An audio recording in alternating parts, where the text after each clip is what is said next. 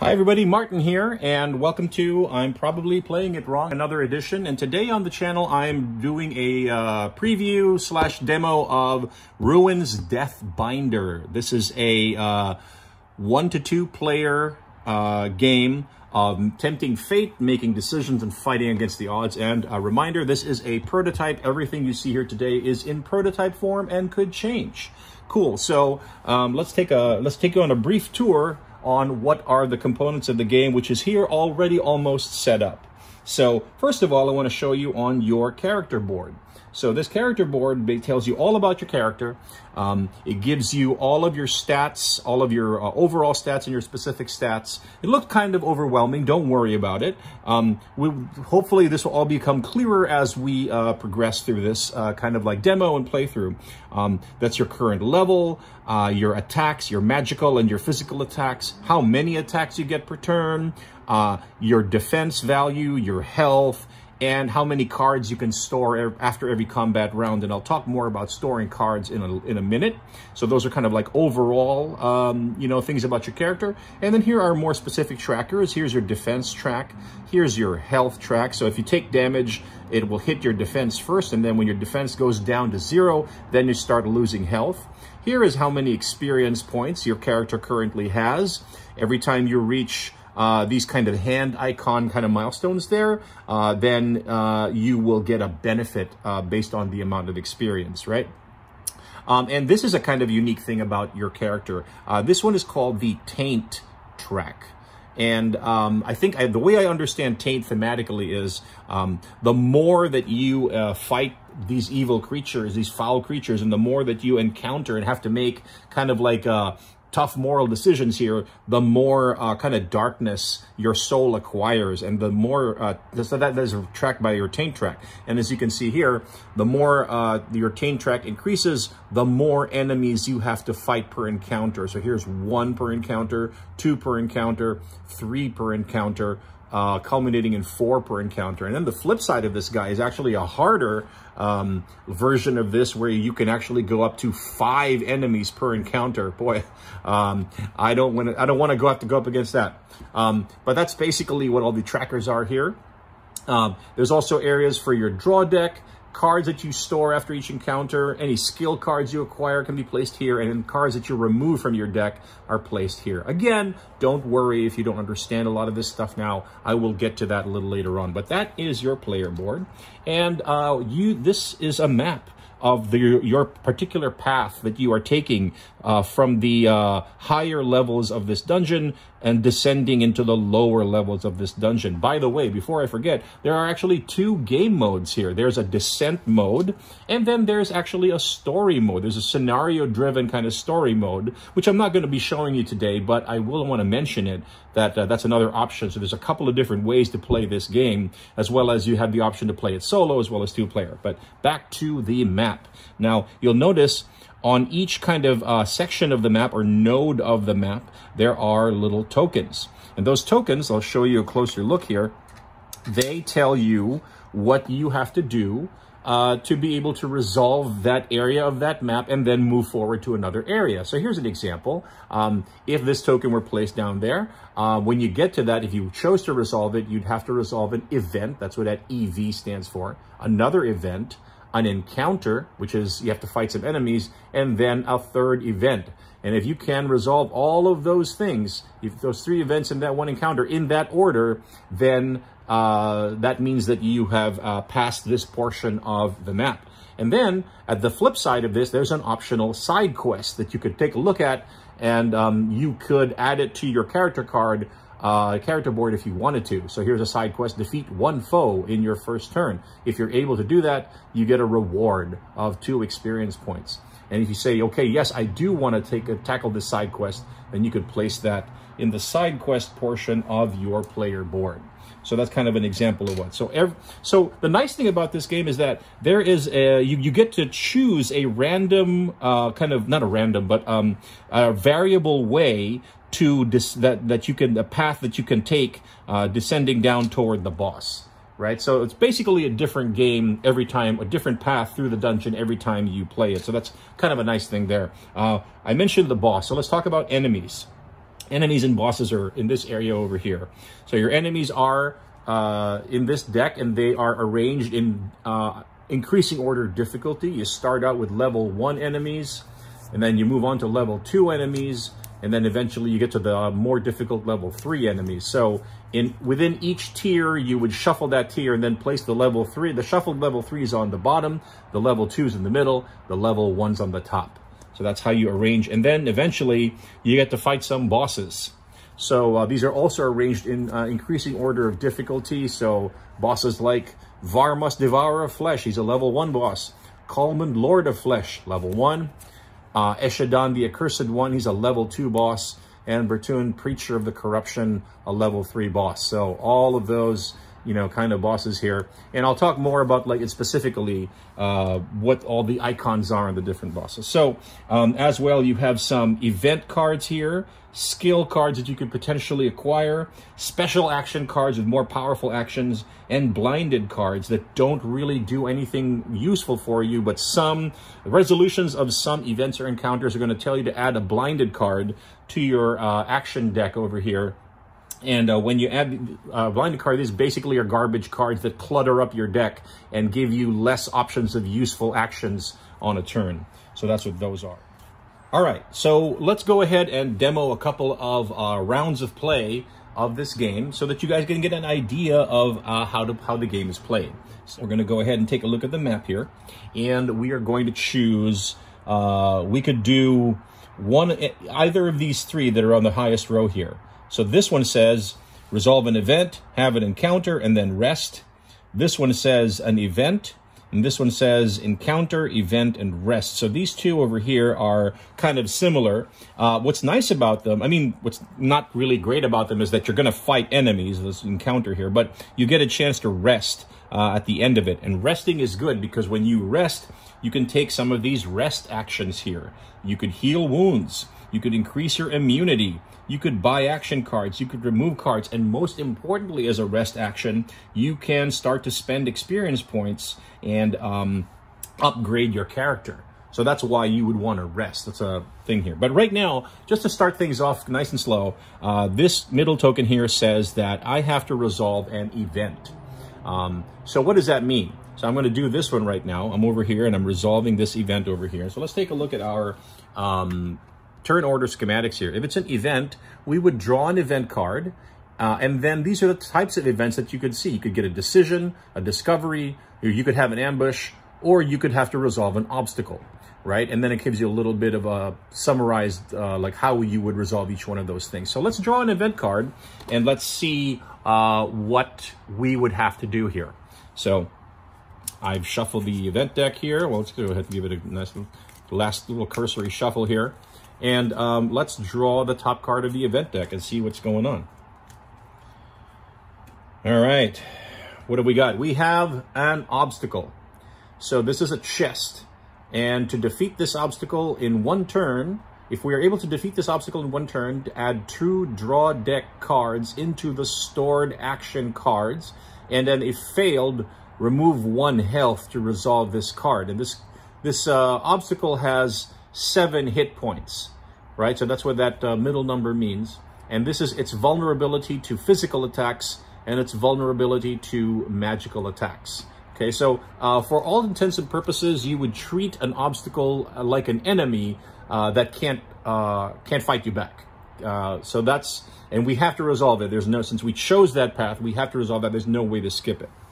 Cool. So uh, we are doing this obstacle right now. So time to talk about the draw deck here.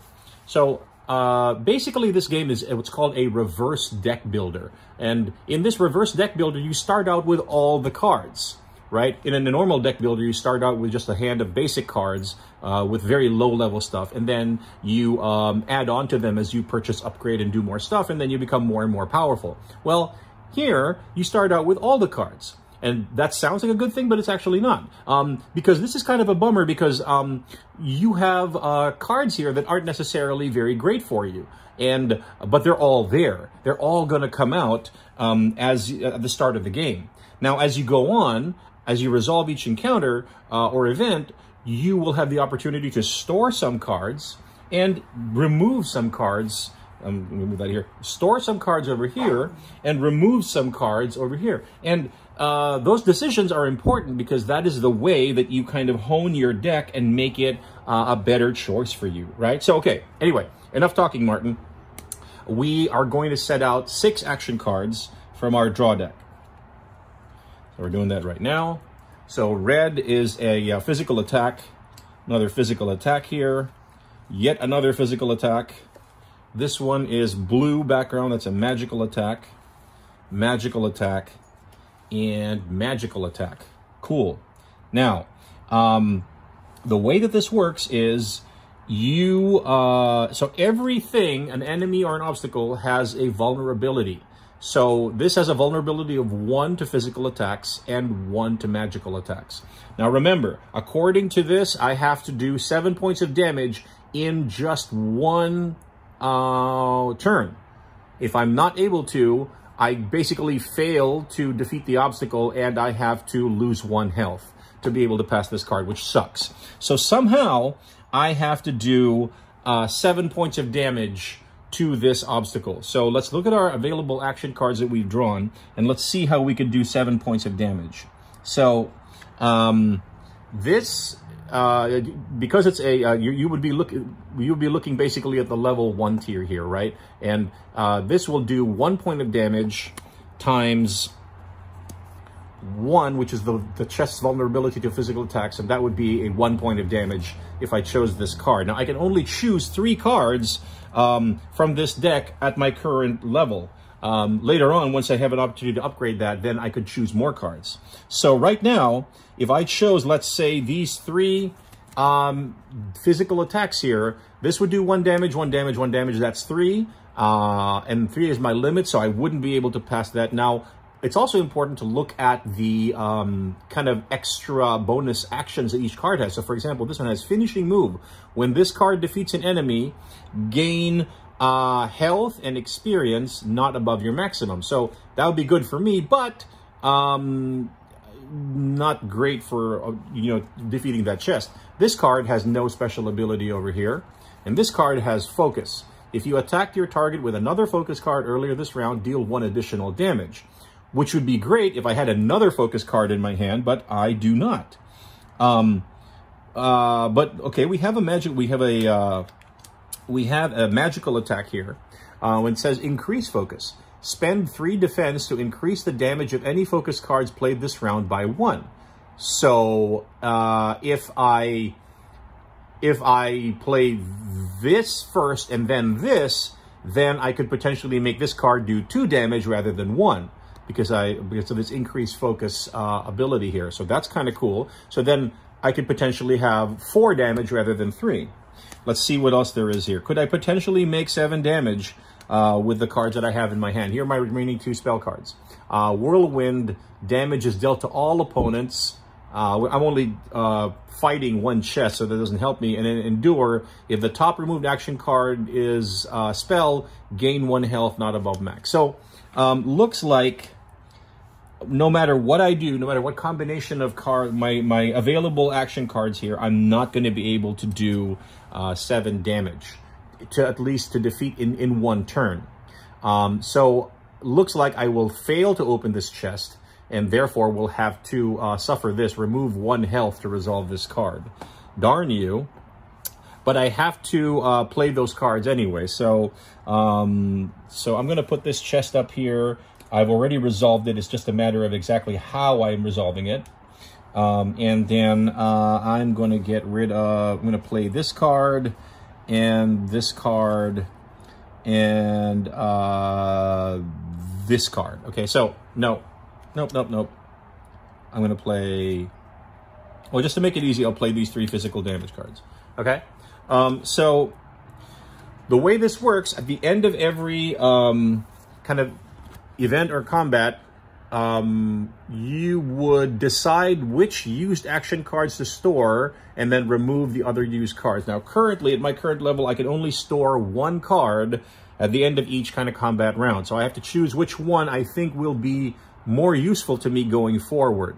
So I am going to choose to keep or store this focus card here, this focus physical attack, placing that here for stored action cards. And I'm going to therefore add these two uh, to my removed action cards over here on the left side of my character board. And that means that I was able to uh, resolve this chest, uh, but I have to take one health. I have to remove one health. So my health goes down to five. And I resolve that event. Now, after resolving the event, let's see, what does it say here? Uh, in the turn order schematics. Uh, after resolving the event, adventure resolve, put event card into resolved events pile. So I've put it here into resolved events. And then have all adventures been resolved in the adventure token? Yes. Add one taint for each event, encounter, and rest evolved. Okay, so I have to add one taint for each event uh, evolved. So I have to increase my taint level by one. Okay. And then it says, um, turn the token on the backside and decide to go on a side quest. If yes, add it to your side quest area in your character card, and if not, put aside. So now I'll take a look at this guy, and I'll say, well, do I want to, there's a side quest here. It says, gain two experience points in an encounter. And if I'm able to do that, then the reward is to heal one point of damage.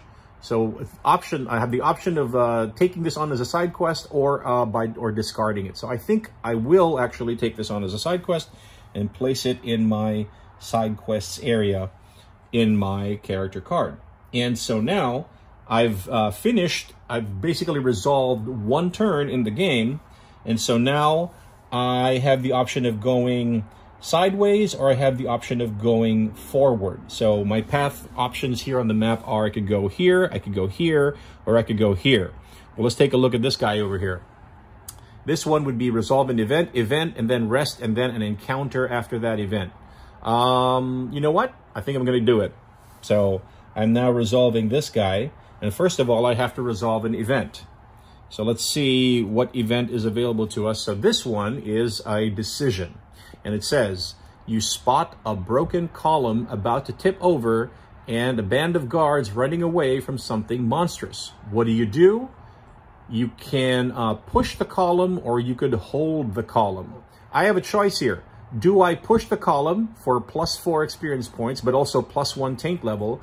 Or do I hold the column and uh, maybe save the guards running away, but at the cost of I have to remove two draw deck cards from my draw deck. Um, I'm going to go ahead and push it. Um, so I will, I, I, want experience points right now. So that's plus four XP, but also plus one taint.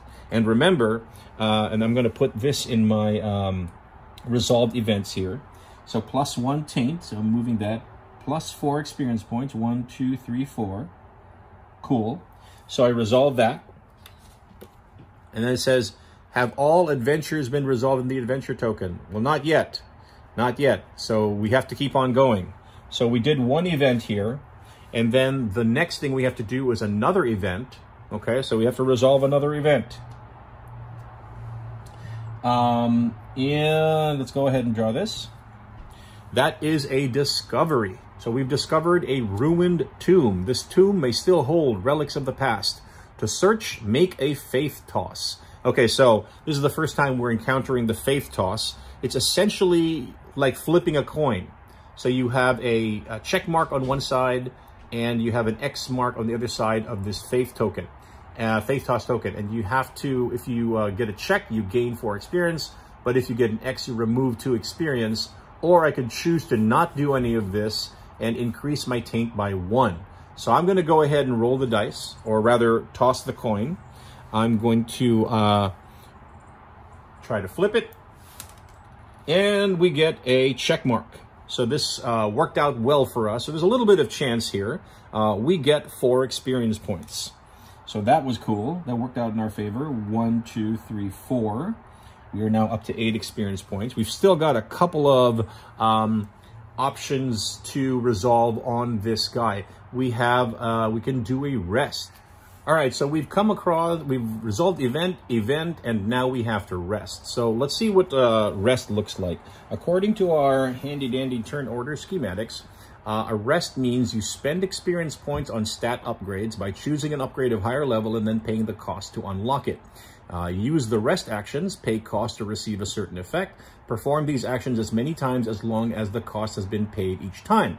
And then once finished, you can skip or continue, or skip, continue to step three, right? Step three is over here. Great, so we're resting right now, which means we could potentially, we've got eight experience points in our character board right now, and we could spend those eight uh, to uh, go up in level in one of these things. So um, the only one that we can afford right now are we could up our starting defense to three, or we could up our maximum health to eight um, by spending either six experience points over here or eight experience points over here.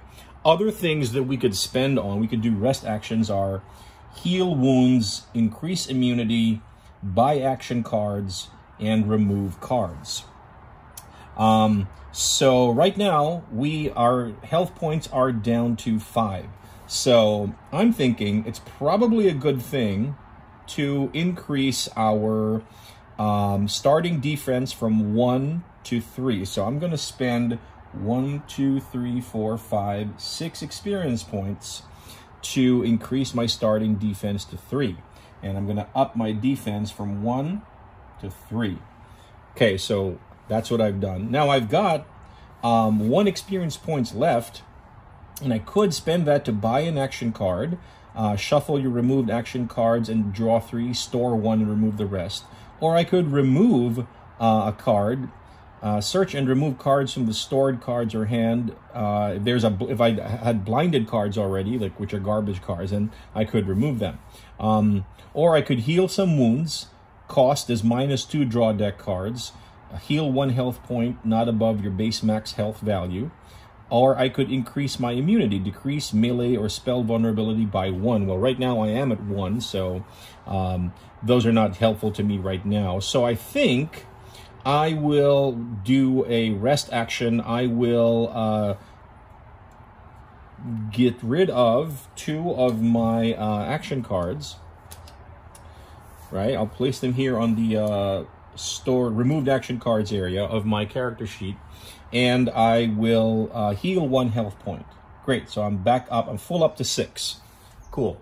So now, uh, now that we've resolved the uh, rest phase on the um, encounter token that we're currently trying to resolve, now we have to do an encounter. All right, so that's the last thing you guys haven't seen, so we're going to go ahead and do that right now. Um, we are doing an encounter. So to resolve an encounter, says right here, draw the number of enemies indicated by your taint track and set your starting defense. So my taint track is currently indicating that I will encounter two enemies in an encounter. So I'm going to draw one enemy, the parasitic muncher, and another enemy, a plague carrier. Cool. And um, so this plague carrier has eight hit points. It is uh, has a vulnerability of two to physical attacks, and uh, it is immune to uh, magic attacks, so that's kind of a bummer. And this parasitic muncher has four hit points. It is um, it has a vulnerability of one to physical attacks and two to magical attacks, so it's more um, susceptible to magic attacks. And uh, they also have things that need to be uh, extra things that need to be resolved. Uh, so I'm fighting these two things right now. Great. So I've set that and my starting, it says set your starting defense. So I start, I set my defense to uh, three, which is my starting defense. So it's a good thing that I buffed up my defense. Then the round begins. Refill your hand to six cards from the draw deck. Okay, so we'll take more cards here from the draw deck. Oh, well, this is a bummer. Uh, my draw deck currently has all magical attacks, which is kind of an annoying thing. Let me go ahead and show you um, what's available in my uh, draw deck here.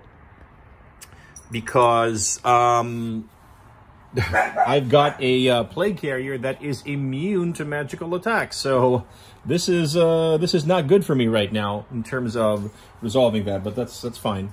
Um, then player will use action cards, skills, and deal damage. So combat page 15. Then um, once there, the opponents will use skills and deal damage and players will receive damage to defense first, then health, and then the round ends. Player decides which use action cards to store and remove other cards. Repeat until either the player or the enemies are defeated. Okay, so we are going to start fighting. We're fighting this parasitic muncher and this plague carrier. And uh, as I explained, right now, all I have are spell attacks here, which is bad for uh, fighting this plague carrier because it has uh, complete immunity to um, to spell attacks. So uh, unless something changes here, I'm not going to be able to uh, do damage to this plague carrier initially. So we'll see how that goes. So we're going to have to concentrate our combat on the parasitic muncher. It is more susceptible to uh, damage attacks. It has four hit points. So let us try to uh, see what we can do. Now remember, uh, on our, our max attacks right now is three. Um, we haven't been able to upgrade our maximum attacks yet. So we have to choose three of these cards. And we have to do uh, four hit points worth of damage. So um, here's a magical attack here that's going to do two points of damage at tier one times two equals four points of damage. So with this one card, I kill the parasitic muncher. Boom. And then I'm use this card and now I have to decide if I'm going to store it or I'm going to uh, re to remove it. So I'm going to put that down there for now. And let's take a closer look here. Now, there's a thing that we have to resolve. After attacking, the target loses one experience. So we have to lose, uh, hmm, after the, attacking, the target loses one experience. Um, so I'm gonna, uh, uh, I'm going to interpret this as after this guy attacks, the target will lose one experience. So I actually don't have to resolve this right now. I killed it before it had a chance to attack. So that guy is dead. I've taken out a parasitic muncher. I have two more uh, cards, action cards to play. Um, sadly, these are all uh, magical attacks. So they're going to do exactly zero damage to uh, to this remaining monster over here, this plague carrier. Um, but I have to use up cards from my hand to be able to uh, get some physical attacks into my uh, into my hand here. So um, even though I know it's not going to do any damage, I'm going to go ahead and do it anyway. So I'm going to uh, play this Whirlwind. Okay, one times zero is zero damage to the Plague Carrier. And I'm going to play this Endure, which is one times zero, zero damage to the Plague Carrier. So now I've used up uh, all of my allowed attacks, and now I have to choose which one I want to keep. I'm going to keep Whirlwind, uh, and I'm going to remove uh, this guy and this guy. So these guys get removed, and I'm keeping Whirlwind in my stored action cards. Now, um, it is now the Plague Carrier's turn to attack me. So it does one magical damage to me, and I have to compare that to my vulnerability to uh, magical attacks, which is one. So it's going to do one point of damage, and I'm going to take on my defense right now. So it reduces my defense to two, and um, it doesn't affect my health, and uh, that is what the Plague Carrier was able to do. Now, after attacking, the target gains one taint. So it's increasing my corruption level. So it attacked me, so I'm going to now increase my taint uh, as per the card. Okay, so um, the player, I used my action cards. The opponent used its uh, skills and dealt damage. I took damage to my defense first, and I uh, got rid of my action cards a little bit early here, and now I have to repeat. So I'm going to draw back up to my, I'm going to refill my hand to six cards from my draw deck.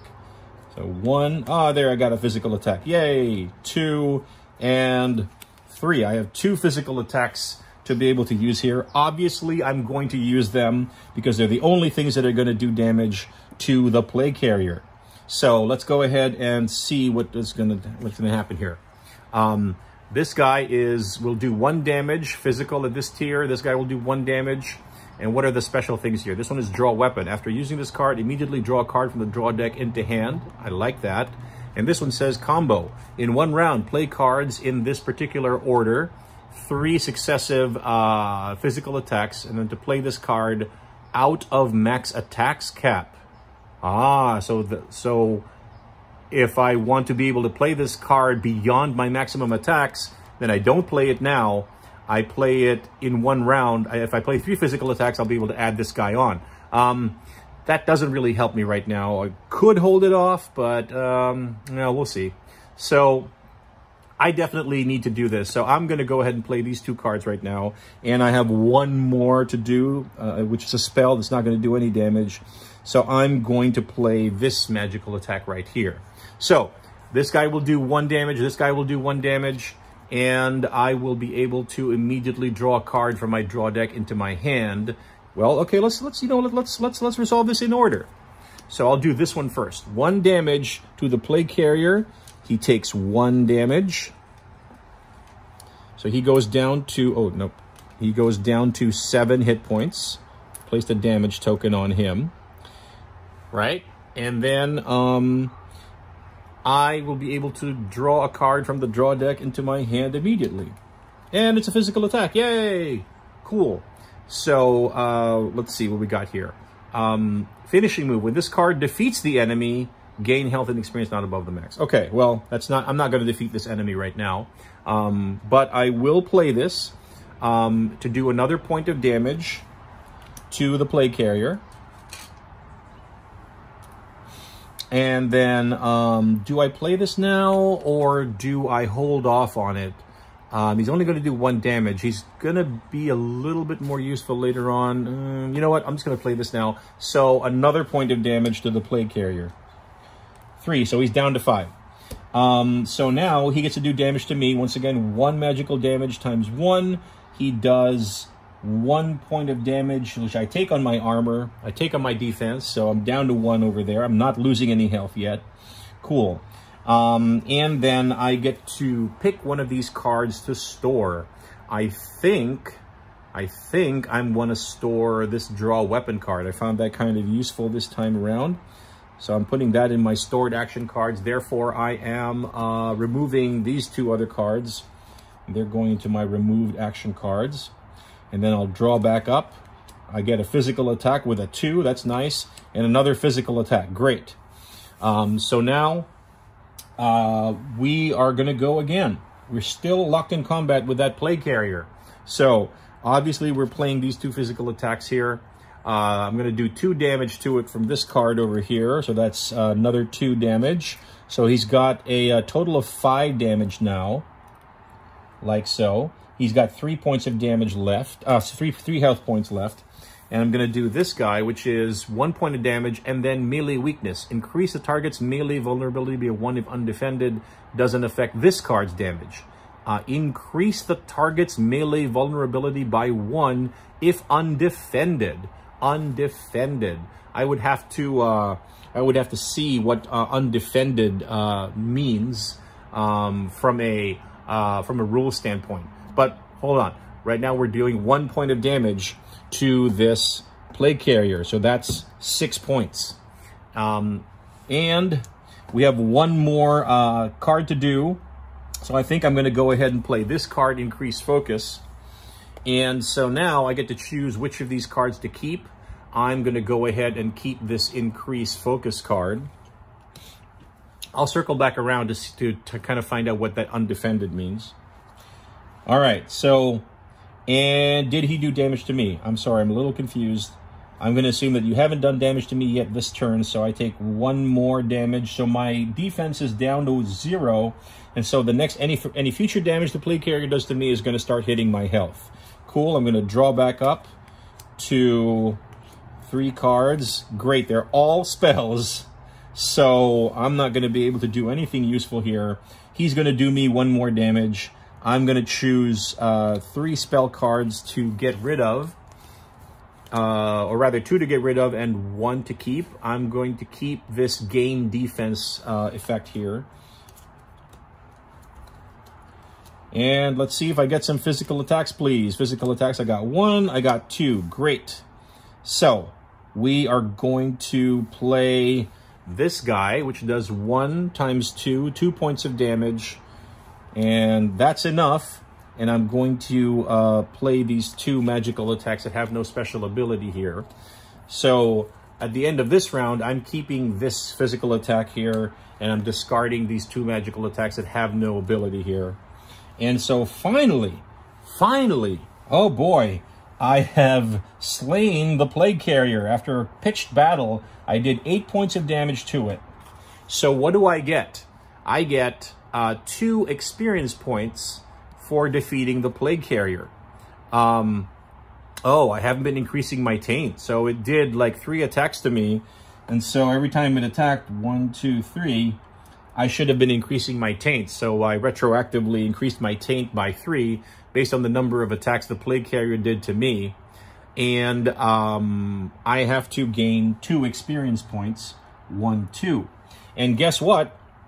Um, my side quest says gain two experience points in an encounter, which I did, and the reward is to heal one. So I've just completed this side quest, and I gain one experience, one health, so I'm back up to six.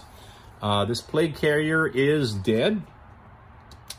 And uh, have I now resolved everything on this token? I resolved event, event, rest, and encounter. I did. So I've, I've finally completed everything on this token. And so let's see, that means that we have resolved that particular adventure, put event card into the resolved events pile. Uh, have all adventures been resolved in the adventure token? The answer is yes. So therefore, add one taint for each event, encounter, and rest resolved. Oh boy. Okay, so that's one, two, three, four. I resolved all of those things, so I'm going to increase my taint. One, two, three, four. I'm right at the edge of encountering two enemies or three enemies um, every time. Uh, if my taint goes up by one more every encounter, I'm going to do three enemies now. And then I potentially can take a look at this side quest. Side quest says defeat two foes in first turn. If I'm able to do that, uh, get a four experience reward. So I think that I will actually take on this side quest. And then now that we've got that, we essentially will move on. Uh, if I can bring the map down in here. So now we choose if we want to go uh, further, delve further into the dungeon or go sideways. Um, there's, like I said, no going back up. All right.